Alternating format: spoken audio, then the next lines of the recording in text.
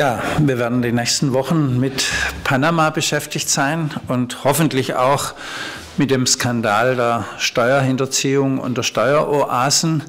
Niemand, der dieses Thema schon länger verfolgt, kann wirklich überrascht sein, allerhöchstens über das Ausmaß der Tatbestand, dass in hohem Ausmaß Steuer hinterzogen werden, über Steueroasen ist ja nichts Neues und dass insbesondere Reiche ihr Geld vom Fiskus in Sicherheit bringen, ist auch nichts Neues. Erschütternd ist höchstens das Ausmaß und wer alles davon betroffen ist, Politiker, Fußballer, Millionäre, Milliardäre, alle möglichen Menschen sind in diesen Skandal mit verwickelt und ich hoffe, dass er noch lange in der Öffentlichkeit bleibt und zwar so lange, bis endlich mal was geschieht, um die Steueroasen tatsächlich trocken zu legen.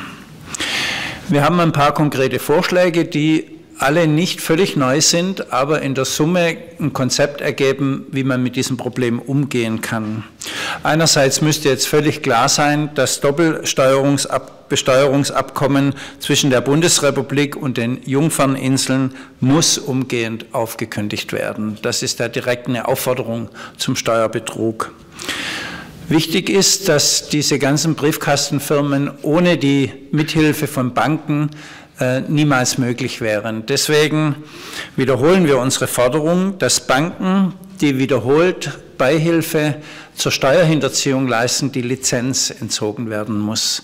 Wenn wir das machen würden, würde es in der Tat aufhören. Im Übrigen sieht das Kreditwesengesetz Paragraph 37 diese Möglichkeit selbst bei einem einmaligen Verstoß schon vor. Also wir hätten schon die gesetzliche Grundlage dazu. Ich glaube, ohne glaubwürdige Androhung werden die Banken nicht aufhören, ähm, diese Modelle ihrer zahlungskräftigen Kundschaft gegenüber weiter zu propagieren und die konkreten Bedingungen zur Verfügung zu stellen. Besonders ärgerlich ist, wenn das Banken machen, denen durch die Steuerzahler massiv geholfen wurden, überhaupt wieder auf die Beine zu kommen. Das heißt, wir selber haben das finanziert, dass sie jetzt zur Steuerhinterziehung beitragen können. Das Dritte ist, die Finanzämter müssen in die Lage und die Finanzkontrolleure müssen in die Lage versetzt werden, Steuerhinterziehung überhaupt äh, kontrollieren und aufdecken zu können. Es ist ja gar kein Zufall, dass das jetzt wieder Medien sind und Journalisten sind, die die ganzen Sachen aufklären und die eigentlich zuständigen Behörden zur Aufklärung relativ wenig beitragen.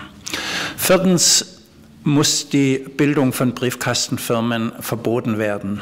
Ich glaube, das muss international gemacht werden, aber ich habe bisher noch gar kein Argument gehört, was eigentlich dagegen spricht, dass wir sagen, in der Bundesrepublik wird ansässigen Bürgern verboten, Briefkastenfirmen zu eröffnen. Warum sollen wir das nicht machen können? Warum muss man immer vertrösten auf internationale äh, Maßnahmen? Die Briefkastenfirmen haben überhaupt keinen praktischen Wert. Sie dienen ausschließlich dazu, die Finanzgeschäfte und Steuerhinterziehung zu verdunkeln. Es muss aber das Prinzip gelten, dass Finanzgeschäfte transparent sind und dass Firmenkonstruktionen und Vermögensanlagen, dass sie transparent sind und äh, äh, die Gesellschaft und der Staat auch tatsächlich das nicht durch eigene Recherche offenlegen müssen. Und deswegen müssen Briefkastenfirmen ganz einfach verboten werden. Und äh, völlig klar ist, die Bundesrepublik Bundesregierung hat sehr viel Energie darauf verwendet, verwandt in ganz Europa Austeritätspolitik zu verankern. Sie könnte die gleiche Energie aufwenden, um Steueroasen trocken zu legen.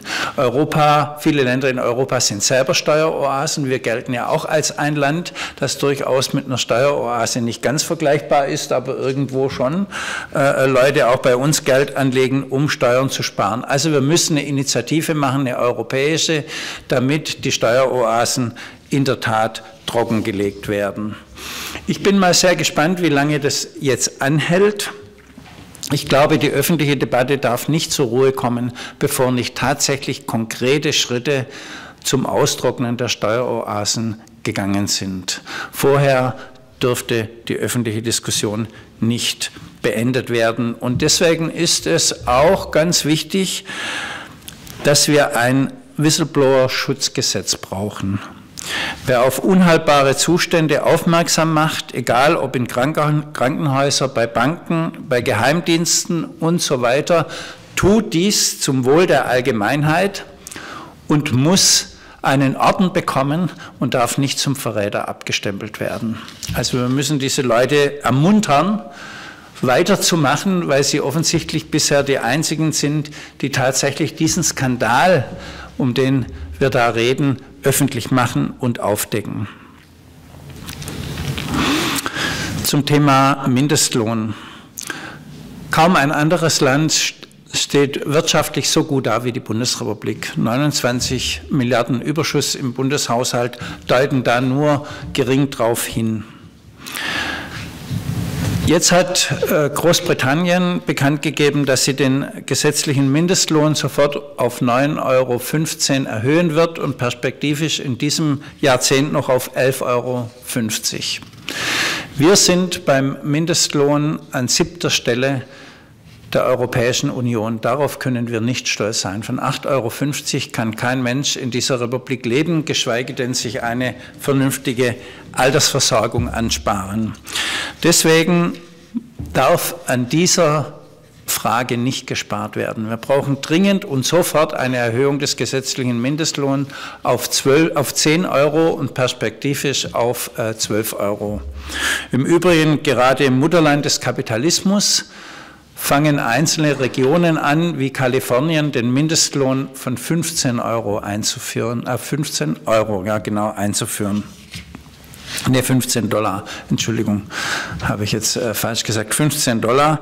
Also wir haben da durchaus noch Spielraum, auf andere Länder aufzuschließen und anstatt ständig den Mindestlohn weiter zu diskreditieren, wie das jetzt wieder von einzelnen CDU- und CSU-Politikern gemacht wird und auch von den Arbeitgebern vom, gemacht wird, immer wieder neue Löcher äh, äh, zu fordern, immer wieder Ausnahmeregelungen zu fordern, sei es für Flüchtlinge oder andere Personengruppen, sollten wir den Mindestlohn dringend erhöhen.